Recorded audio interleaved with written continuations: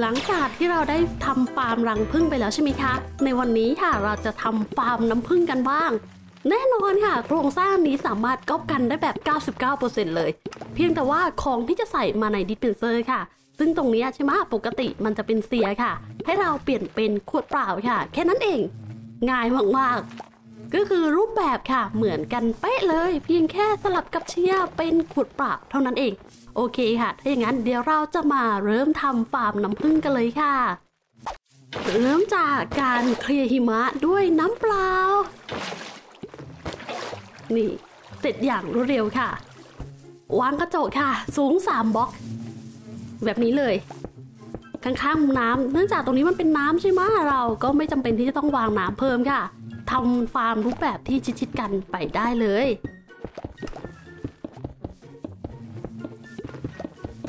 แน่นอนมีน้ำอยู่แล้วก็ไม่ต้องกลัวค่ะ ว่าพื้นดินที่พรวนนี้จะกลายเป็นหญ้าคืนเนาะ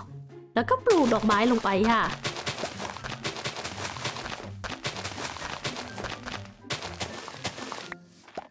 แล้วเราก็วางบล็อกอะไรก็ได้ ตรงนี้สักหนึ่งบล็อกเนาะแล้วก็ตามด้วย hopper ค่ะโครงสร้างนี่มาแบบเหมือนเป็น replay โครงสร้างฟาร์มรังน้ำผึ้งค่ะ ที่มาเปลี่ยนให้เป็นฟาร์ม น้ำผึ้งนั่นเอง ฟาร์มรังผึ้งอ่าเปลี่ยนให้เป็นฟาร์มน้ำผึ้งเนาะเพราะว่ามันเหมือนกันแทบทุกอย่าง แล้วก็ตามด้วยนี่ค่ะบีไฮที่เลี้ยงผึ้งกดชิปเราก็วางได้เลย นี่หันหน้าเข้ามาในนี้ค่ะ ระบุว่านี่เป็นด้านหน้าพึ่งก็จะออกจากทางด้านหน้าเท่านั้นนั่นเอง ออกมาหาดอกไม้เนาะเขาจะได้ไม่หลุดออกจากคุกที่เราขังพึ่งไว้นั่นเองค่ะ ต่อบล็อกขึ้นมาตรงนี้ค่ะ วางเป็นบล็อกอะไรก็ได้ชั่วคราวเนาะโอเค แล้วก็ตามด้วย dispenser หน้าคว่ำค่ะบล็อกชั่วคราวเอาไว้ในการระบุค่ะว่าให้ dispenser ตัวนี้คว่ำแต่ถ้าเป็น Minecraft Mod Pack นี้ค่ะ เพียงแค่เรามีประแจเนี่ยเราก็สามารถหมุนบล็อกได้แล้ว แต่ใน Minecraft เอาชีวิตรอดมันไม่มีประแจเนาะก็ต้องใช้วิธีนี้เลยค่ะ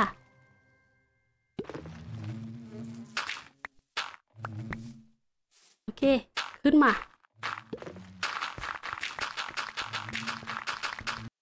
กด shift แล้วก็วาง hopper ลงมาเลย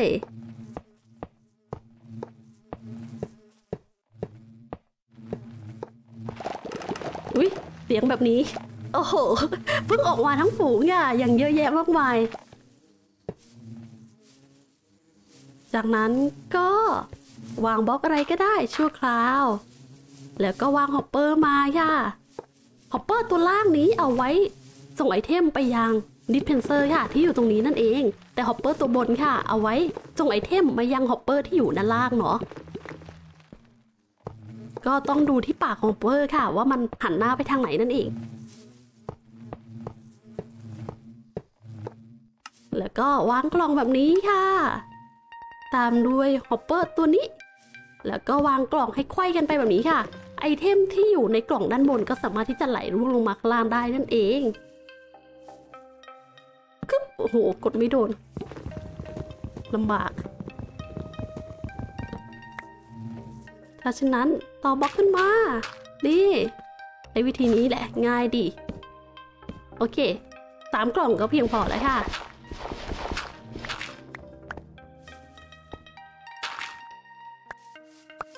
ทีนี้ก็เหลือการเดินระบบข้างหลังเนาะวางบล็อกเข้ามาเลยค่ะ ด้านหลังของฮอปเปอร์ที่อยู่ตรงนี้ สามแถวค่ะ นี่แถวที่หนึ่งนี่แถวที่สองกับสามเนาะนี่ไล่มาเลย กระแสไฟสามารถส่งได้5ช่องค่ะ คือสิ่งที่เราต้องการตามระดับน้ำผึ้ง5เลเวลนั่นเอง แล้วก็ Redstone Comparator ตรวจจับไอเทม หรือในที่นี้ก็คือการตรวจจับน้ำผึ้งที่อยู่ในที่เลี้ยงผึ้งนั่นเอง เมื่อมีน้ำผึ้งเลเวล 5 เราก็จะส่งกระแสไฟไปที่ Redstone Repeater แล้วก็สั่งค่ะให้ dispenser ที่มีขวดน้ำหรือว่าขวดเปล่าเนาะอ่ามีขวดเปล่าอยู่ในนี้ เก็บเกี่ยวน้ำผึ้งแล้วเราก็จะได้เป็นขวดน้ำผึ้งนั่นเอง อุ้ยมันน่าจะฟินค่ะแหล่งอาหารถามว่าดีไหมน้ำผึ้งก็ ไม่รู้สิคะว่ามันจะดีแค่ไหน แต่รู้สึกว่ามันกินแล้วไม่เพิ่มค่าอาหารเยอะเท่าไหร่ แต่น้ำผึ้งก็สามารถเอาไปเปลี่ยนเป็นน้ำตาลได้ อาจจะล้างพิษได้ใช่ไหมถ้าจำไม่ผิดค่ะ ก็คือกินน้ำผึ้งแทนนมเป็นไปได้หรือเปล่า อันนี้ไม่แน่ใจนะจำไม่ค่อยได้ค่ะปึ๊บอะเรสโตนตรงนี้สองช่องเรียบร้อย ทีนี้ต่อไปก็เป็นตแลบแบบนี้ค่ะ เราก็วางมาเป็นแบบนี้เลยปุ๊บนี่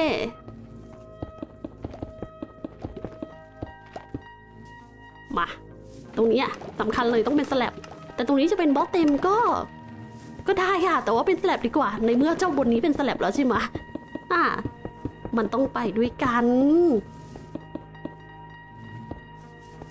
แล้วก็วางบล็อกมา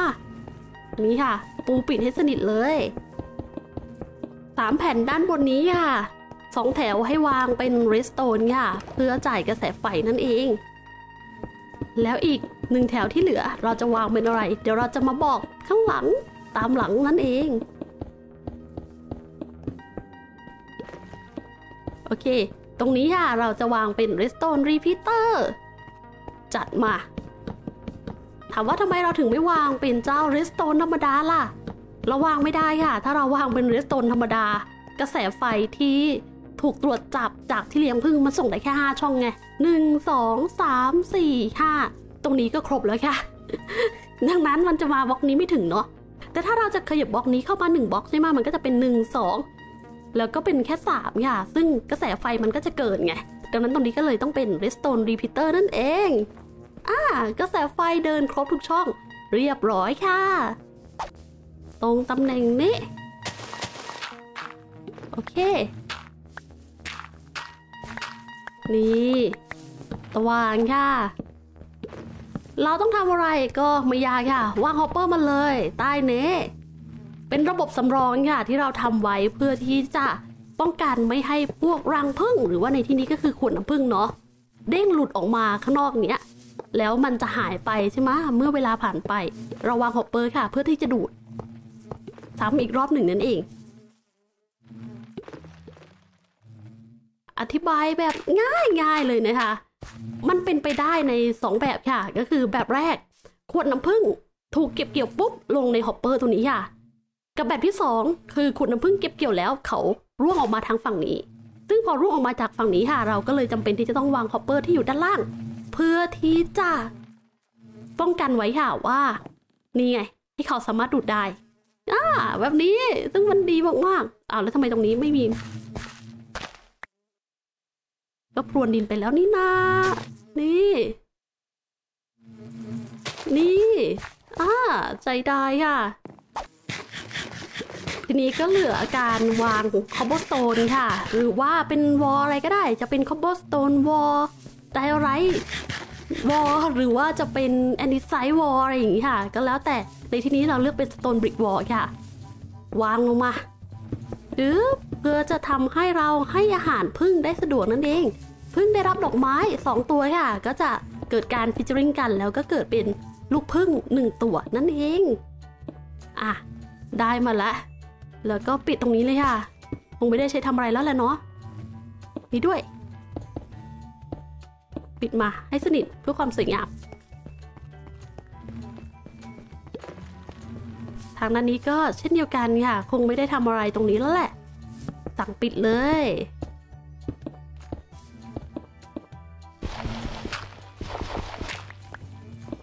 นี่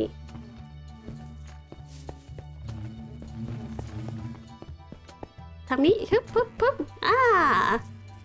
ติดเรียบร้อยค่ะ เหลืออยางสุดท้าย ก่อนที่จะนำพึ่งเข้ามา นั่นก็คือ หากระจกเปล่าค่ะ นี่ เข้ามาเลย เก็บข้าวของออกก่อนเคลียร์ช่องในตัวให้ได้มากที่สุด ยิ่งว่างยิ่งดีค่ะ กระจกมา แล้วเราก็เอามา craft ค่ะ นี่ให้ได้เป็นขวดเปล่าแบบนี้ จัดเลยค่ะแน่นอนว่าช่วงต้นนี้ต้องใช้เยอะนิดหนึ่งเนาะ เพราะว่ามันจะต้องไป stack ใน hopper ด้วยค่ะ แต่ก็ไม่เป็นไร เราเลือกใช้ระบบนี้เพราะเราไม่อยากจะวางเป็นทางขนส่งไอเทมแบบน้ำหรือว่าขี้เกียจส่งเป็นแบบรถไฟค่ะ ก็เลยใช้นี่แหละ นี่ พวกขวดก็จะถูกส่งลงมาในนี้ค่ะ dispenser แน่นอนก่อนที่จะเดินเครื่องค่ะ แนะนำให้ขวดค่ะต้องอยู่ในเต็มทุกตำแหน่ง เพราะไม่อย่างนั้นเวลาที่เก็บเกี่ยวน้ำผึ้งมาค่ะน้ำผึ้งมันก็จะแทรกมาอยู่ในช่องนี้แทนเนาะแล้วระบบก็จะเกิดปัญหานั่นเองเช่นนั้นต้องมีกระจกจำนวนมากๆค่ะ กลับมาแล้วwork ในเวอร์ชัน1.14 ของเราค่ะ มาเอากระจก ต้องมาหาตามกล่องอะไรอย่างเงี้ย ว่าเราเผลอเอากระจกไว้ที่ไหนบ้าง นี่ไง กระจกยาที่เราต้องการนั่นเอง กลับมาที่ฟาร์มรังผึ้งของเราค่ะ มาเลย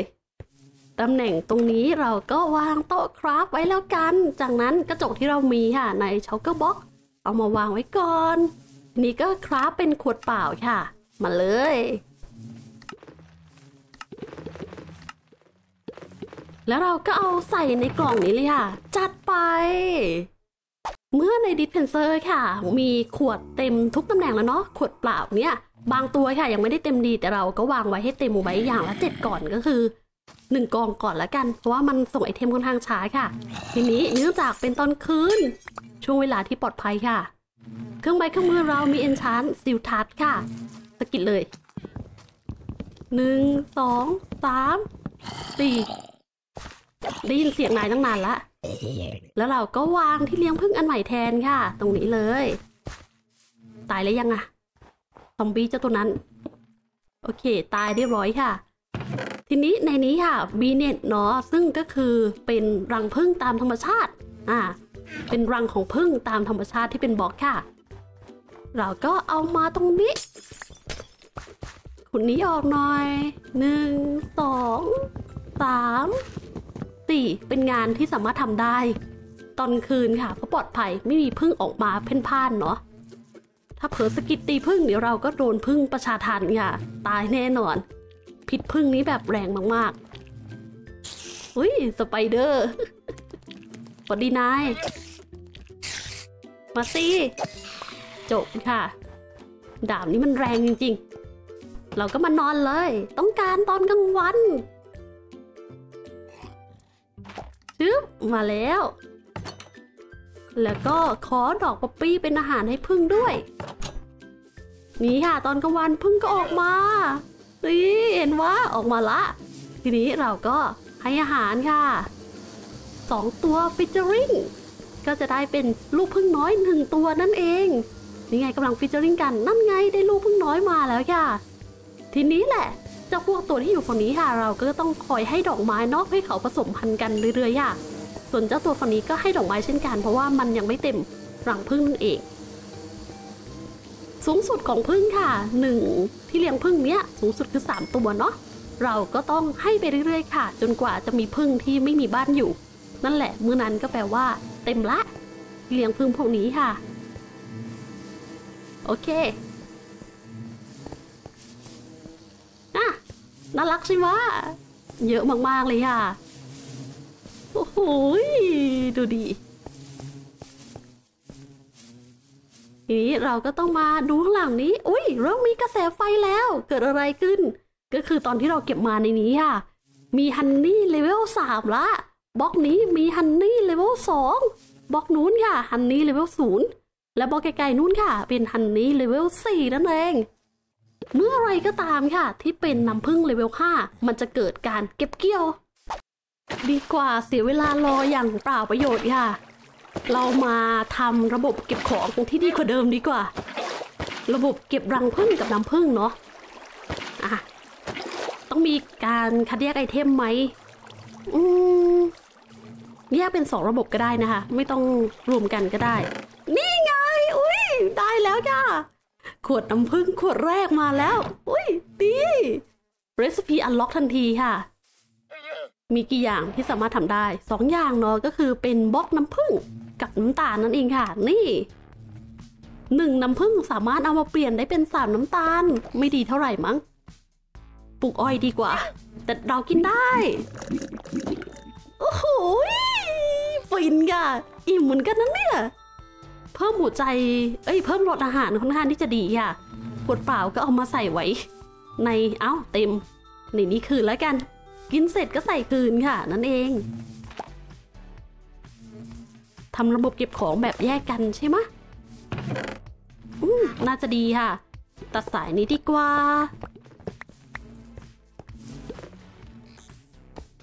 โอเค hopper ต่อลงมาปึ๊บเชื่อมมาตรงนี้ ดังนั้นเราวางเป็นนี่เลยสอง hopper เชื่อมต่อกับ hopper ตัวที่ 3 เข้าสู่ลัง นี่ก็คือเป็นที่เก็บแล้วค่ะ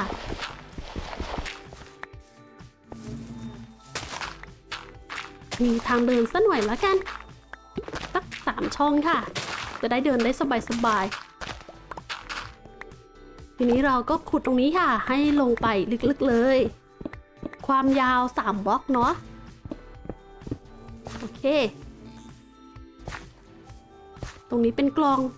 เราก็วางกล่องเพิ่มเติมมาค่ะ แล้วก็วาง hopper แบบนี้ item ที่อยู่ด้านบนก็สามารถไหลลงมาข้างล่างได้นั่นเอง ถ้าเราวางอะไรข้างบนนี้ปุ๊บนี้ค่ะ เขาก็จะไหลลงมายังข้างล่างนี้ ก็จะไม่มีไอเทมค้างอยู่ในกล่องเนาะหนึ่งสองสามสี่ห้าโอเคห้ากล่องก็พอละ อ่าใจได้ นี่อะ ดูดีละ ทีนี้ก็เหลือขุดตรงนี้ค่ะ แล้วก็ตกแต่งให้เรียบร้อยนั่นเอง ระบบเก็บของ ดูดีแล้วค่ะ นี่ไงเห็นปะโล่งขุดเรียบร้อย จุเรียบร้อย ทางขึ้นทางลงก็มีบันไดตรงนี้ อ่า ใจได้ค่ะ ทีนี้ก็เหลือเพียงแค่ ให้อาหารพึ่งเรื่อยๆค่ะ มา ให้ดอกไม้ไป ผสมกันไปเรื่อยๆค่ะ ช่วงนี้อาจจะยังได้น้ำผึ้งไม่เยอะเนาะเพราะว่ามันมีผึ้งที่เป็นตัวแม่มันไม่เท่าไหร่ค่ะ เพราะว่าที่เหลือนี้ก็ยังเป็นเจ้าตัวน้อยๆอยู่ ก็ต้องอาศัยวิธีนี้แหละค่ะ ให้ดอกไม้ไปเรื่อยๆ น่าจะให้ได้ประมาณทุก ๆ 20 นาทีมั้งคะไม่แน่ใจ เฮ้ย ลูกพึ่งออกมาได้ยังไงอ้าวอย่าบอกนะว่าออกมาจากระบบนี้ นานๆทีมันจะหลุดออกมาได้หรือเปล่าคะเนี่ย เดี๋ยวนะนาย แบบนี้ไม่ดีค่ะ ไปแล้วไปนู่นแล้วก็เห็นเล่นตั้งนานไม่เห็นจะมีตัวไหนหลุดมีแต่ต้าจนตัวนี้แหละที่อยู่ดีๆดื้อหลุดออกมาได้อะโอ้โหเก่ง ตามมา ตามมา ตามมานี่ ตามมานี่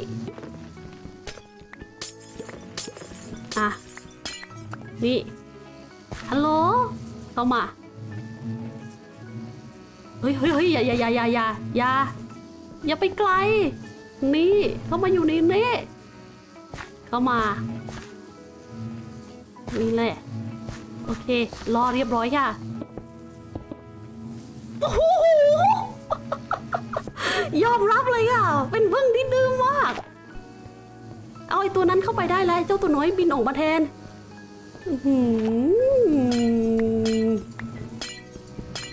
ดื้ออะไรขนาดนี้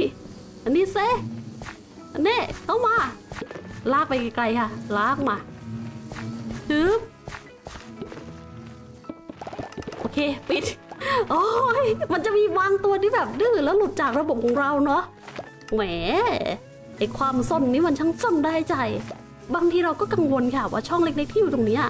มันจะทำให้เจ้า พึ่งน้อยอะเป็นลูกตัวเล็กหลุดออกมาได้ไหม แต่เราก็ได้ทดลองไปสักพักหนึ่งแล้วก็ไม่เห็นมีตัวไหนหลุดนะคะยกเว้นบางตัวที่แบบซนจริงๆอะ มันหลุดรอดออกมาได้ อันนั้นก็ไม่เป็นไรค่ะ ส่วนน้อยส่วนน้อย